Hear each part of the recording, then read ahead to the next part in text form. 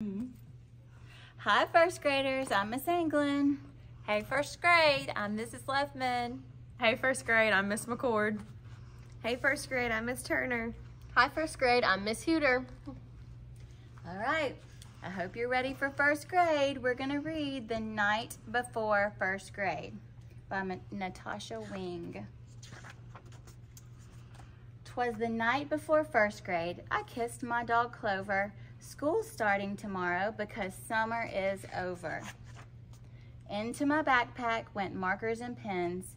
I hung my new outfit. It matched my friend Jen's. I spoke not a word, but went straight to the shelf and filled up my lunchbox. I made lunch myself.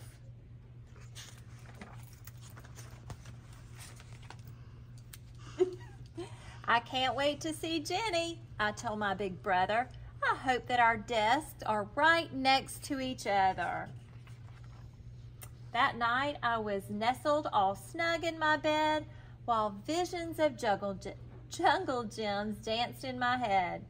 The next day at breakfast, Dad made such a fuss. What a big girl you are to be taking the bus. Hurry, Penny, said Mom as it turned down our street. Over here, shouted Jenny. I saved you a seat. At school, kindergartners stood outside in the hall. They all looked so young. Were we ever that small?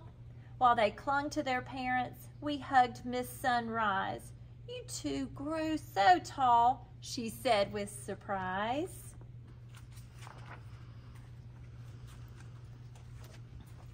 Ding, ding, ding, rang the, rang the school bell.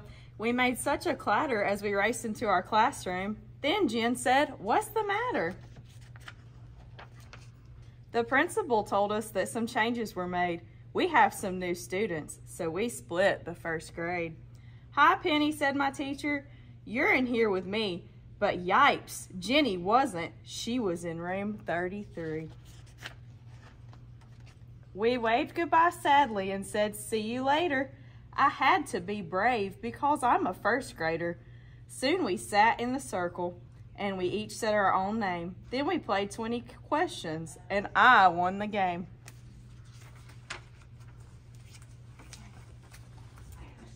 Mr. Barr is so funny. He tells jokes and he juggles. And our class pet's so cute. It's a bunny named Snuggles. I knew most of the kids except just a few, so I went and said hi to a girl who was new. We sat side by side and made pictures with noodles. We laughed when we saw we both made noodle poodles. We both have pet turtles and love turquoise blue, and pistachio ice cream is her favorite too.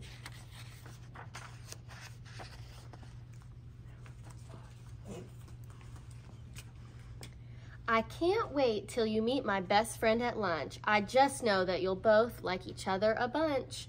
The lunchroom was buzzing, so busy and loud. We sat down at a table. Was Jen in this crowd? When what to my wondering eyes there in line was Jen and a new friend who looked just like mine. Their eyes, how they twinkled behind matching frames. They had curly pigtails and they had rhyming names.